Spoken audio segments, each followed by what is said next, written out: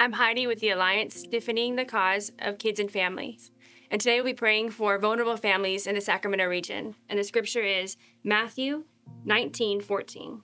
Jesus said, Let the little children come to me, and do not hinder them, for the kingdom of heaven belongs to such as these. Let's pray.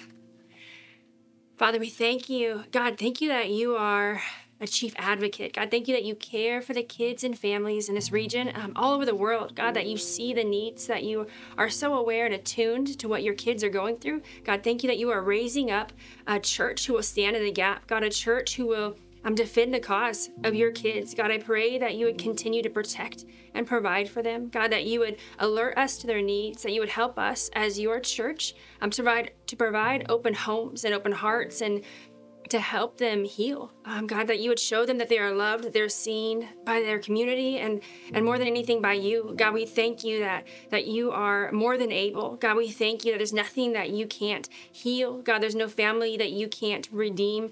Um, God, we just trust you to do a greater thing. God, we know that you're at work. We anticipate your goodness here, now in this city. In Jesus' name, amen.